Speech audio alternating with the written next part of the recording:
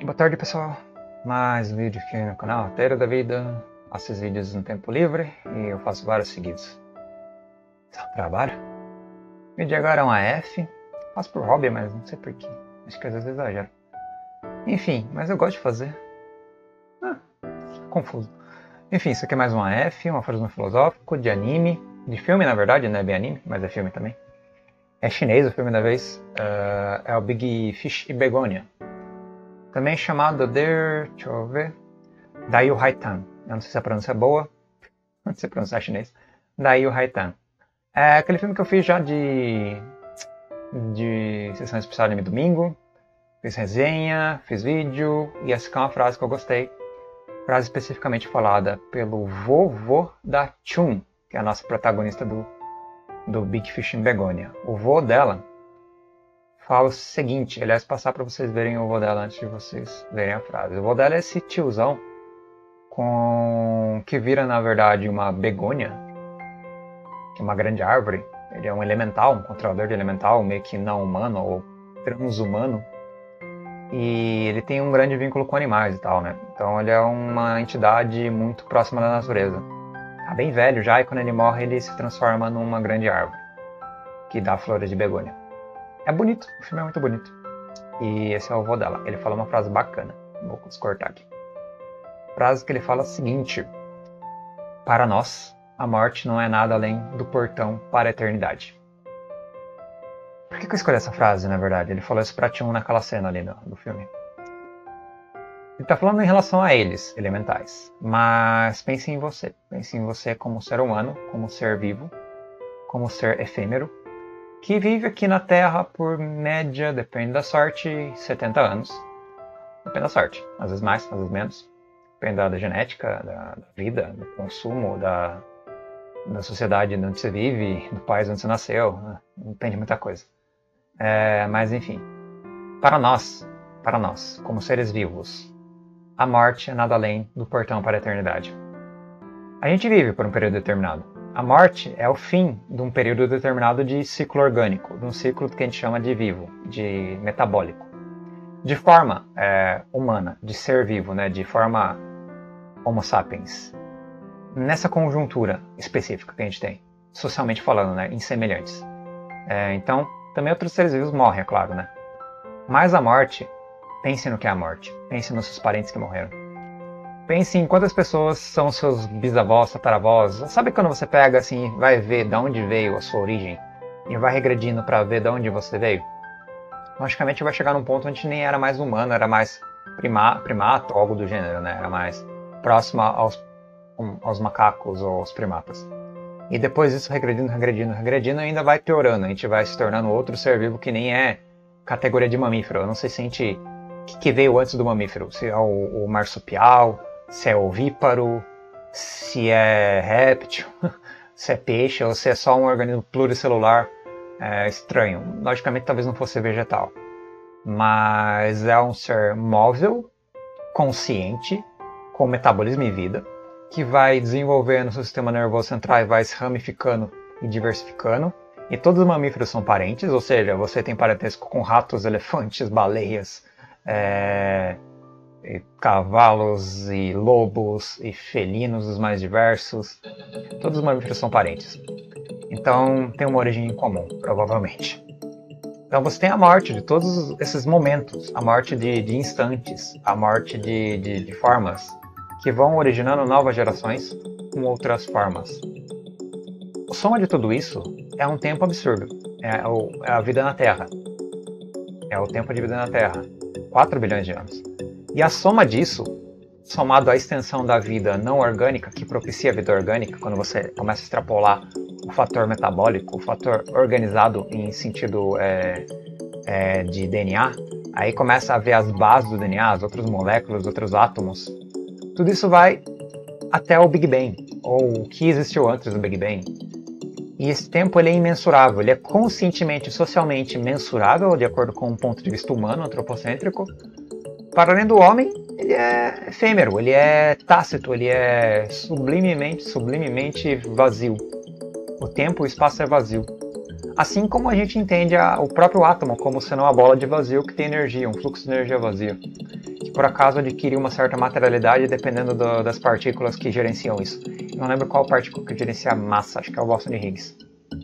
Se não me engano, é que dá a densidade da matéria, a densidade de, de, de, de enfim, é, não sei, eu nem sei, eu não sou da física. Mas pesquisem Boston de Higgs, partículas atômicas, qual que dá a densidade da matéria, que dá a massa e o peso, e, e que é, lida com a força da gravidade, e, e, lida com as estruturas moleculares, e que vira toda aquela gama de, é, de átomos, nêutrons e elétrons, prótons, nêutrons e elétrons dentro de um átomo, e cadeias atômicas moleculares, e fusões de núcleo e, é, e vai infinitamente além até virar DNAs e DNAs seres orgânicos, seres orgânicos que morrem e mudam de forma.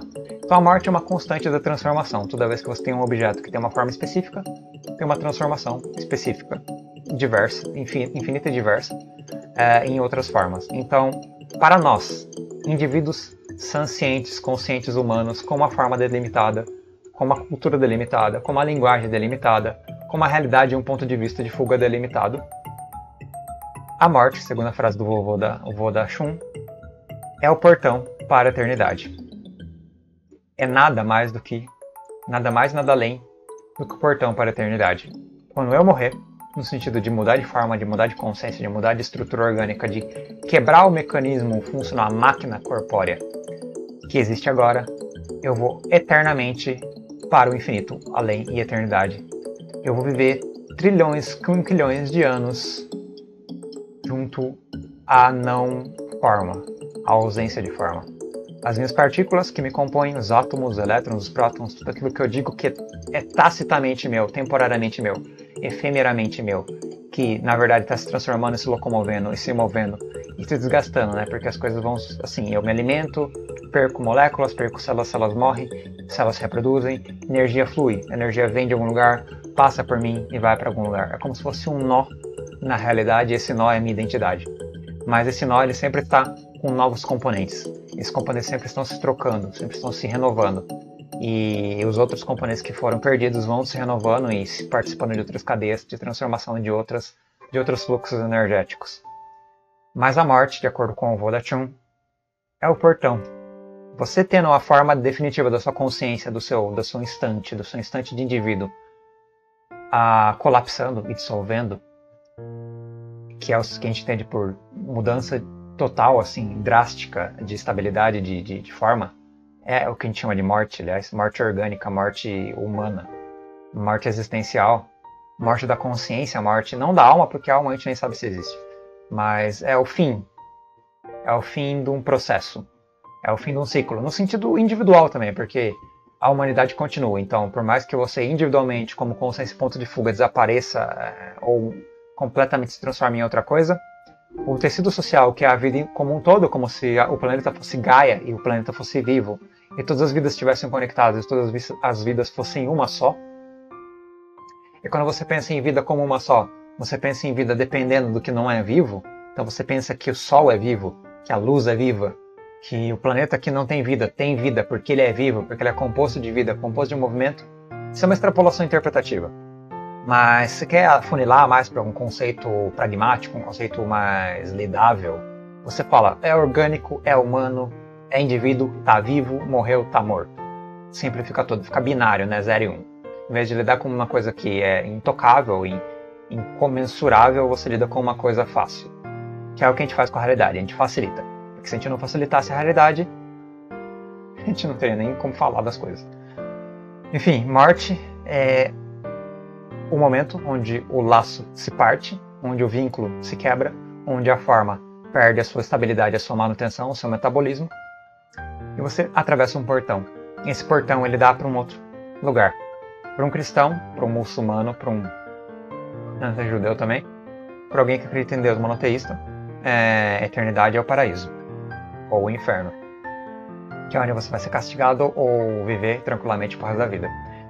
E para uma pessoa que morre num cenário descrente, a eternidade é se desfragmentar nas suas estruturas mínimas que já não te pertenciam, na sua consciência, nas suas palavras, que tudo não te pertence, ou pertence, se você quiser, você escolhe também. Uh, e acontece com essas coisas depois que você morre. Elas dissolvem no meio. Você vai ser consumido por outros seres vivos, por outros seres não vivos, você vai se tornar é, matéria inerte, matéria passiva. Matéria passiva no sentido de que ainda tem movimento ali. Se sofrer calor, move. Se sofrer frio, move, eu acho. Né? Ou move mais devagar. É, tá ali interagindo de maneira entrópica com o meio. Tem entropia no negócio ainda. Tá desgastando, tá perdendo forma e ganhando forma. É, seu corpo pode evaporar. Aí você vai ser partículas dispersas em quilômetros, trilhões de quilômetros de distância. Você pode ter partículas suas, tipo um pedaço do seu DNA, que por acaso ficou intacto, uma hélice do seu DNA, que está a daqui um trilhão de anos lá em Andrômeda. Lá na. na, na lá no. Na, no. Esqueci o nome do negócio.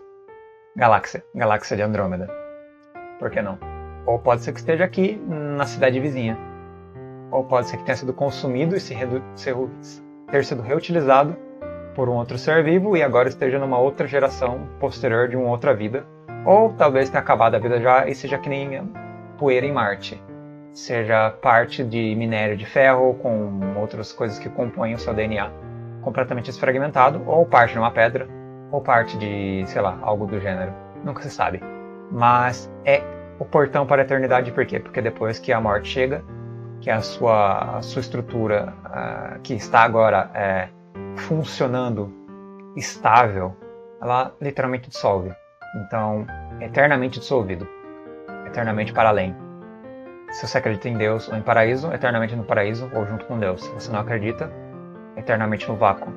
Se você acredita na, nas forças da natureza, eternamente se transformando junto às forças da natureza. Talvez você caia num buraco negro um dia. Talvez sim, é, não sei o que acontece. Talvez existam universos paralelos e eu também não sei o que acontece quando isso acontece. Talvez a matéria se teletransporte. Talvez exista antimatéria e a sua matéria desapareça.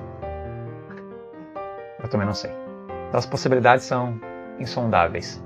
Mas essa frase é muito, assim, eu peguei essa frase mesmo por causa que eu gosto desse negócio de você observar o horizonte e saber que o horizonte é infinito e saber que você não está observando o horizonte num instante, mas está observando o horizonte infinitamente em todas as suas existências visíveis ou invisíveis, todas as potências visíveis ou invisíveis, em todas as suas identidades visíveis ou invisíveis.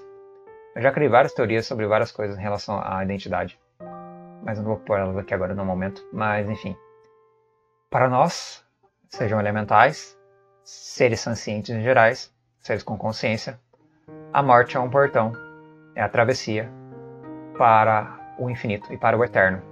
O eterno e o infinito quase é sinônimo, não tem como não ser um sinônimo. Então, é, eternidade é temporalidade e infinito é espacialidade.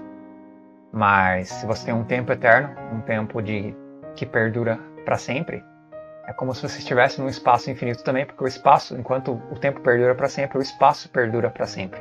As coisas não são indissociáveis. É mais ou menos isso. Então é isso, pessoas. Obrigado por me ouvirem. Essa frase é bem, bem filosófica mesmo e é bem interessante. Mas é isso aí. Ela é um pouco menos é, abrangente no sentido prático, né? É muito mais metafórica, abstrata, mas é bem legal.